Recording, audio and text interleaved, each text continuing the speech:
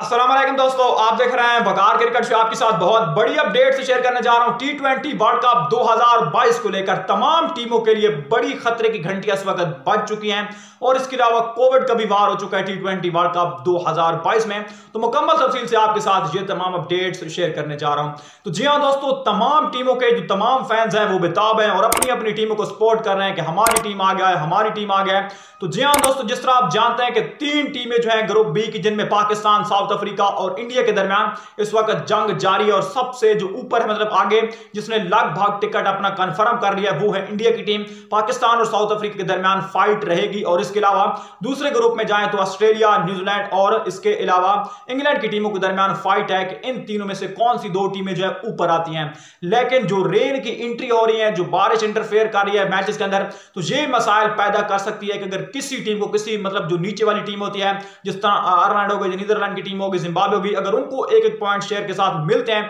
तो फिर बड़ी टीमों को नुकसान हो सकता है, जिस तरह पाकिस्तान है, साउथ अफ्रीका है, इसके अलावा न्यूजीलैंड होगी या इंग्लैंड होगी तो इन टीमों को मसाइल हो सकते हैं। अगर रेंज जो है इनके मैचेस में इंटरफेयर करेगी तो एक तो ये मसाइल होगा कि वर्ल्ड कप की अब जो आखिर में चार फाइनलिस्ट सेमीफाइनलिस्ट टीम बनेगी, वो कौन सी होंगे? इसके अलावा आज कोविड का पहला केस जो है, वो सामने आया टी वर्ल्ड कप के अंदर। ऑस्ट्रेलियावी लेग स्पिनर एडम जम्पर जो है, वो कोविड का शिकार हो गए और उनका पहला आज मतलब आज भारत के अंदर पहला कोविड का केस जो है, वो सामने लेकिन इसको इतना वो नहीं ले रहे हैं कि खतरे की कोई बात नहीं है, जो ये हो जाएगा वर्ल्ड कप के अंदर कोई असर पड़ेगा जो नहीं। बहरल ये पहले जो होता था कि अगर कोई कोविड का टेस्ट पॉजिटिव आता तो पूरे स्क्वाड को जो है, वो एक तरफ़ आइसोलेट कर दिया जाता, लेकिन अब इस तरह की बात नहीं होगी। अगर जम्पायर रिकवर भी करते हैं, या उनका